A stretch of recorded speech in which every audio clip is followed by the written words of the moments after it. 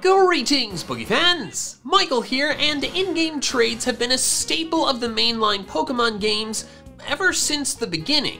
They allow players to experience trading even if another person isn't available, and they allow you to get some Pokemon with traded benefits without actually having to trade. But not all in-game trades are created equal.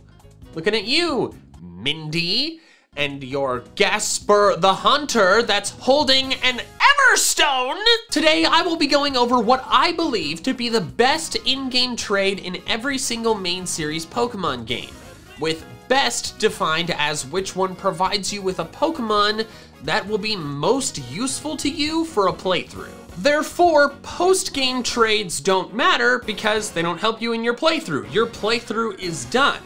Also, it doesn't matter if a Pokemon is only obtainable through an in-game trade if the Pokemon is weak. If it's not good to you for anything other than a dex entry, then it's not the best. So don't forget to subscribe to my channel since 60% of my viewers are not subscribed, which is darkness. And let's dive into what I believe to be the best in-game trade in every Pokemon game. We'll start with Generation 1, Red and Blue. We'll cover Yellow in a bit, but not right now because it actually has different in-game trades. Here are all the in-game trades for Red and Blue. Several of these Pokemon are only obtained via their in-game trade, but like I mentioned, that doesn't affect my opinion. The first one I considered naming is the Abra for the Mr. Mime as the best. The reason I thought that might be the best is because Alakazam absolutely a superior psychic type Pokemon compared to Mr. Mime. But for those players who cannot trade, I thought Mr. Mime might be superior to Kadabra. Nowadays it is, but in the Gen 1 stat system, Kadabra was the superior Pokemon due to having better special and speed. As for the rest of the trades, the Pokemon Lab ones aren't phenomenal and have the drawback of being pretty late. The Nidoran line trades are basically trading the same Pokemon for the same Pokemon, so that's not anything special. And then Lickitung and Farfetch'd are just bad Pokemon.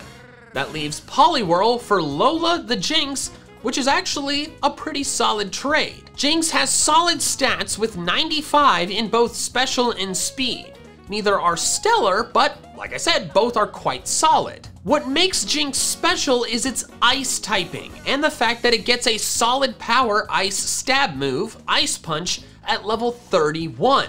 That means you can use that valuable ice damage against Erika, Giovanni, and the big one, Lance, whose Dragonairs are only weak to ice, because there's no dragon moves that can deal super effective damage in Gen 1. For more on that, check out my Dragon Types Then versus Now video. So Jynx can give you stab ice type offense, which is valuable and very hard to find, but it's also a psychic type, which is extremely broken in Generation 1. You do have to use a TM to teach it Psychic, but if you do, you can use it against Koga, Bruno, and Agatha. As for the Poliwhirl you'll need for the trade, it's not super tough to get.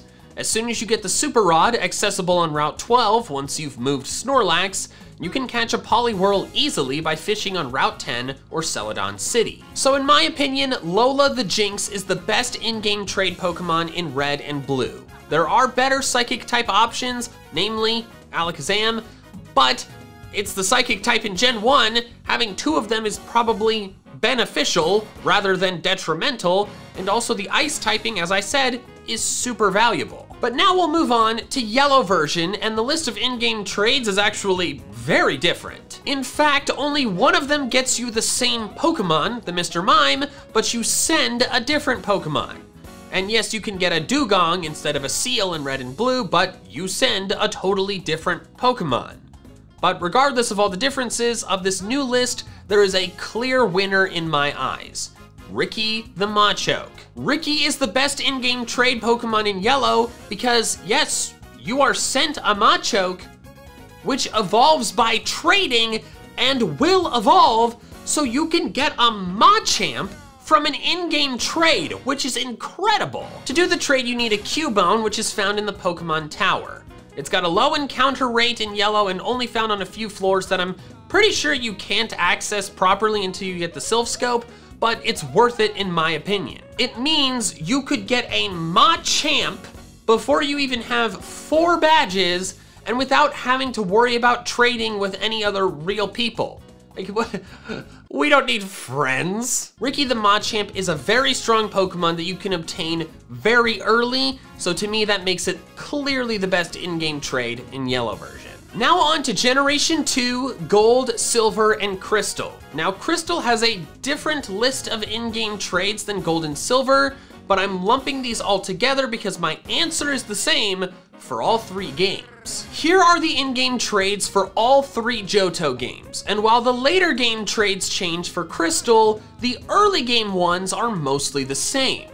The first is a Bellsprout for Rocky the Onix. This is a great trade as Onix has the type advantage over the first two gyms, the Flying Gym and Bug Gym, and then it resists all of the attacks of Whitney's Miltank. If you're willing to put in the work to get a metal coat and then trade to evolve it, it can become a reliable team member for the long haul as a Steelix. I heavily considered naming this the best in-game trade, but I think there's one that's just a bit better. Muscle the Machop.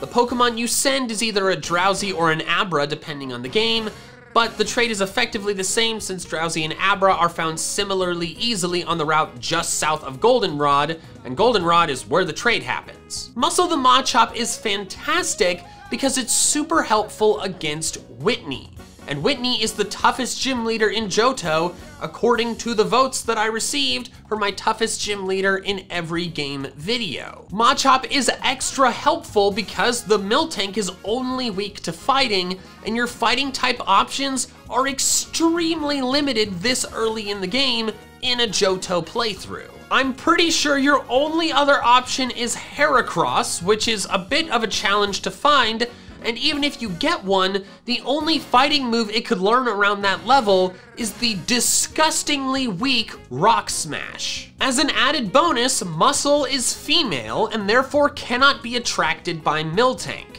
It makes the toughest battle in the game a lot more manageable, and then if you're able to trade, you can keep using it throughout the game as a fast experience gaining Machamp, which is really strong. Also, the guy who gives you the Machop's name is Mike. Ha! Clearly someone very benevolent and trustful. Trustworthy. Trustworthy. So Muscle the Machop is the best in-game trade in Gen 2, but Rocky the Onix is a close second, and I actually recommend using both of them. In my first ever playthrough of Gen 2, which I did here on my channel, I used both of them on my team, and they were awesome. Now on to Generation 3, starting with the Hoenn Games Ruby and Sapphire, and oh my god, they had nothing. This is the entire in-game trade list for Ruby and Sapphire, clearly far shorter than the previous generations. Of these three trades, the best is the Makuhita, named Makit. Makit? Make it? I don't know. The Makuhita is the only useful Pokemon you can receive. The Skitty and Corsola come way too late in the game and are also just not very good Pokemon. To be fair, these in-game trades are clearly intended to be used as contest Pokemon. They all come with one of their contest stats boosted really high. However, that's not the ranking system I'm using for this video. I care about how good the Pokemon is on a playthrough team, and Skitty and Corsola are not good, and Makuhita is actually pretty solid. Hariyama is a great team member if you don't pick Blaziken, since the fighting type is useful for a lot of the big battles, particularly the most challenging gym leader, Norman. By doing this in-game trade, you can get Makuhita earlier than otherwise, and have one that will get boosted experience. Slakoth isn't super easy to find in the forest, but it certainly is findable, and the trade is doable. So the Makuhita is the best in-game trade Pokemon in Ruby and Sapphire, partially because it's the only good one, and partially because it's a good Pokemon. But then we move on to Emerald, and none of them are good. There are once again only three trades available before the league, the Meowth one being post-game. Horsea requires a Bagon, a Pokemon you can't catch until you have Waterfall, and eight badges, so it might as well be post-game. Plusle is a bad Pokemon, So all that leaves is Dots the Seedot as the best by default, but even then it's not great. Shiftry isn't a stellar Pokemon for a playthrough in Gen 3, due to Nuzleaf having a severely limited level up moveset, meaning you have to use TMs for it to be effective, and TMs broke in this game. Also, Shiftry's best attacking stat is its physical attack, and Grass and Dark moves are all special in Gen 3. It's not god-awful, but in my opinion, there are better Grass and or Dark type options. And also, I don't know if it's worth trading away a Ralts for. Gardevoir is pretty good, and Ralts isn't that easy to find. I don't know if I recommend this trade, but I certainly recommend it more than all of the other ones. Next up is Fire Red and Leaf Green, whose list of in-game trades is almost identical to Red and Blue's. So my answer is the same, sort of. This is the list of all of them, and at the top you'll notice is Abra for Mr. Mime once again. If you recall, I considered this as the best trade in red and blue in order to consider players who cannot trade, since Alakazam is better than Mr. Mime, but I thought Mr. Mime might be better than Kadabra. In Gen 1, Mr. Mime was not better than Kadabra, but in Gen 3, it absolutely is. Due to the stat system change, Mr. Mime now has a much better base stat total than Kadabra, so if you want a strong, fast Psychic type and can't get Alakazam, this trade is the way to go. As an added bonus, Mimien the Mr. Mime has a timid nature, which lowers its not as useful physical attack stat and boosts its speed stat. That's a great nature for a Mr. Mime. However, if you can trade and can get an Alakazam, Alakazam is strictly better than Mr. Mime in most every way. So in that case, the best trade is the same one as before, Poliwhirl for Jynx, but this time the Jynx is named Zynx. This Jynx is the best for the same reasons as before. The Ice type stab is very helpful and hard to find in Kanto, and it can be used as a Psychic type Pokemon if you use the TM, and even after all of the nerfs the Psychic type got in Gen 2, it's still really good in Gen 3 due to the lack of strong bug types, the singular ghost type that is weak to psychic, and the complete absence of dark types.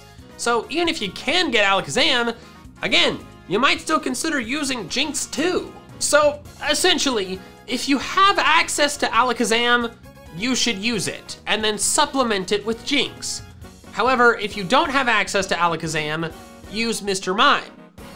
And then also, potentially supplement it with Jynx. Now on to Generation 4, starting with the Sinnoh games Diamond, Pearl, and Platinum, the games with the infamous Everstone Haunter trade. Obviously, that will not be the best one. Like with the Hoenn games, there are not very many trades in these games, and it's actually easy to eliminate all but one. Gaspar is, of course, terrible, and Magikarp is post-game. That leaves Cherub the Chatot and Kazza the Abra, and Abra is strictly better. Chatot only has a base stat total of 411, while the Abra can become Alakazam, which is much stronger, obviously. Even if you're not able to trade and evolve Kazza into an Alakazam, the Kadabra form of Kazza is still useful to you.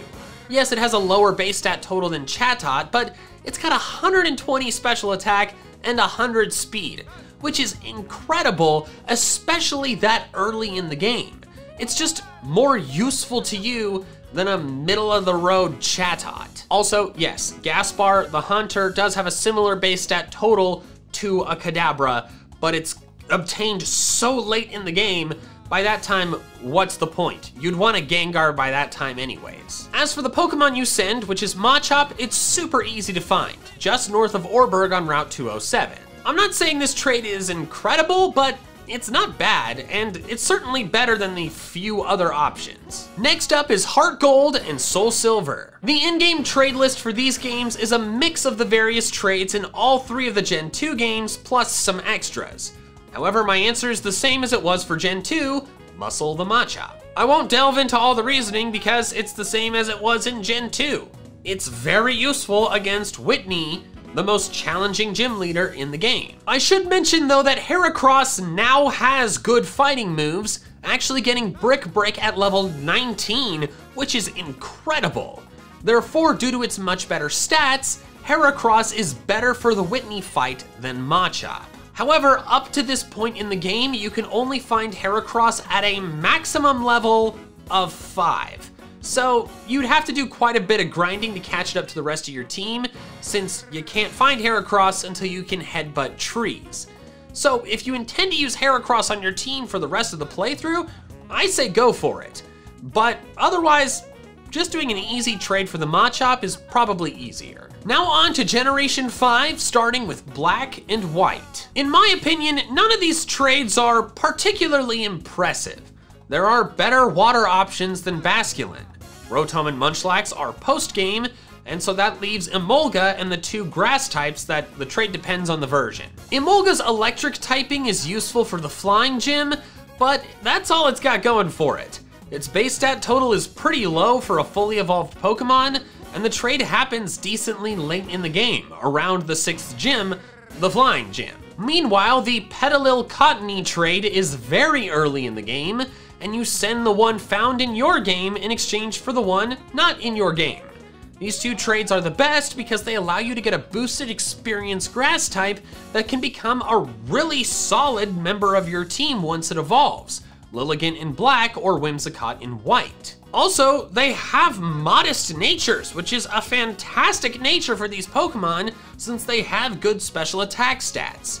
The trade isn't freaking incredibly broken or anything, but you could get a pretty solid boosted experience grass type for your squad, and that's better than the other options. Next is Black 2 and White 2, which have pretty different trades. I should mention there's some long lists of in-game trades you can do with Yancy or Curtis, but those are post-game, so not going to consider them here. These are the rest of them, and the same Petilil and Cottonee trade is available just in a different location.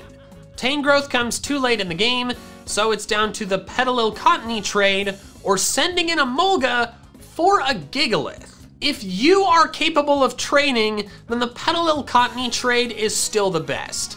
Gigalith is a fantastically strong Pokemon and really awesome. I love the thing, but the trade itself is kinda late, and also getting Emolga is a bit tedious. You can only find it in the rustling grass, which is an annoying process.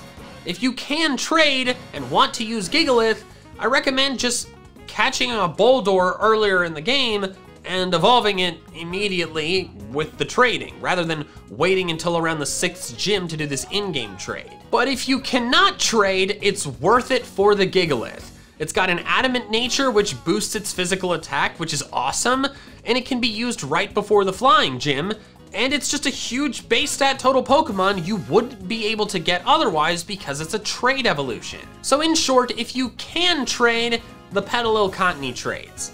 If you cannot, then grab the Gigalith. Now on to Generation 6, starting with X and Y. This is the list of all the trades, and one stands out far more than the others and is the clear best.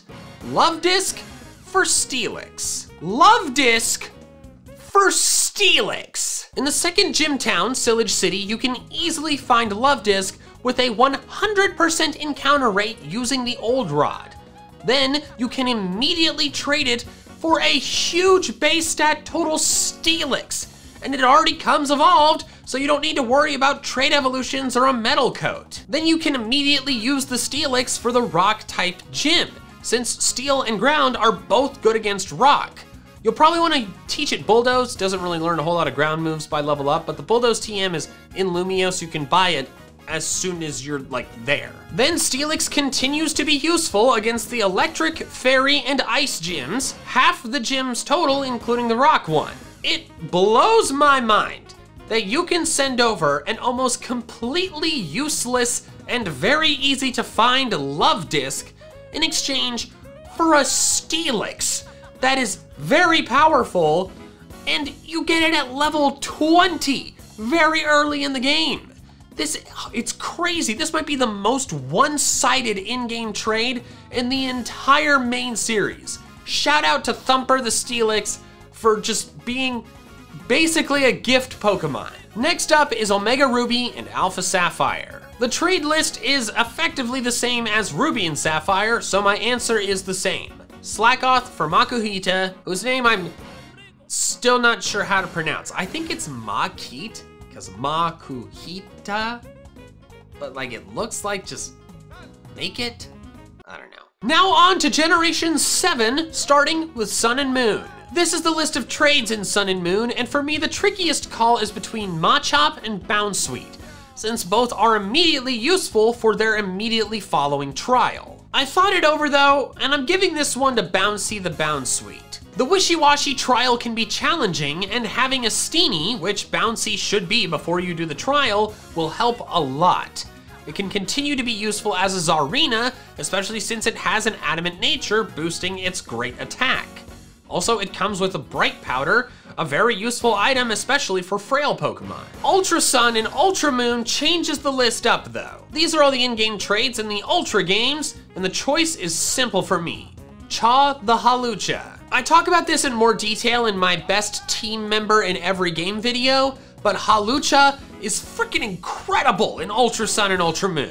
It's got a great base stat total that's really nice to have that early, and it has super effective stab against the vast majority of the in-game battles. The fact you can get one of the best Pokemon in the game so early with the boosted experience is incredible. Next up is Let's Go Pikachu and Let's Go Eevee, and they totally change up the list of in-game traits from previous Kanto games. These ones are all Alola forms. These are all the in-game trades in the Let's Go games, and the list is simply the Kantonian Pokemon for the Alolan Pokemon, with a few version differences and exclusives. To me, the best contenders on this list are immediately the dark types. As I mentioned earlier in the video, despite all the nerfs to the psychic type in Gen 2, it remains a dominant type in Kanto playthroughs because there are no dark types, there's only one ghost type and it's weak to psychic, and most of the bug types are pretty weak. Therefore, being able to get a dark type is super valuable, so the dark type Alola forms are the most valuable. Therefore, the best trade in Let's Go Pikachu is the Alolan Grimer, and the best trade in Let's Go Eevee is the Alolan Persian. I do think Alolan Muk is a bit of a better Pokemon than Persian, but they're both gonna be really useful to you. Especially since you can get them before you fight Sabrina. You just have to get the surfing replacement from Fuchsia, and then surf to Cinnabar and find the trade guy there. An honorable mention though goes to Alolan Raticate, which is also a dark type. It's much weaker than the other two, but you can get it way earlier in the game, so I recommend tossing it on your team, at least in the interim, to deal with psychic types before you can get the better dark types. Finally is Generation 8 Sword and Shield, and I should say I will not be including the Isle of Armor Galarian form for not Galarian form trades. Not everybody has the DLC, and her location and timing and offerings are very inconsistent depending on the day, and it just didn't make sense to include them. This is the list of main game in-game trades in Sword and Shield, and of all of these, I think Snips the Togepi is the best. It has a timid nature, which is fantastic for Togekiss, and Togekiss is just an extremely powerful Pokemon that will be super useful to you. Togepi does evolve by friendship, which can be a bit annoying, however, it's gonna get boosted experience. The most efficient way to raise a Pokemon's friendship is to hand it the Soothe Bell and then level it up a lot with experience candy. If it gets boosted experience, you're gonna be able to evolve that Togepi even faster. As for the Toxel you have to provide, you could send the one you got from the daycare, but also it's not too tough to find a wild one in the wild area or on Route 7. So there we have it, those are what I believe to be the best in-game trades in every main series Pokemon game. Happy trading, but make sure you don't level them up too fast and make it so they don't listen to what you have to say. Thank you so much for listening to what I have to say, and an extra special thanks to my patrons over on Patreon, who are helping support my channel independent of the fluctuating nature of the YouTube ad business. You can help support me in the same way, the link is in the description below. Also, if you want to check out some more of my fun Pokemon content, which I highly recommend, click somewhere here on the screen. All right, that's all I have for now. So until next time, fans. Gotta catch them all!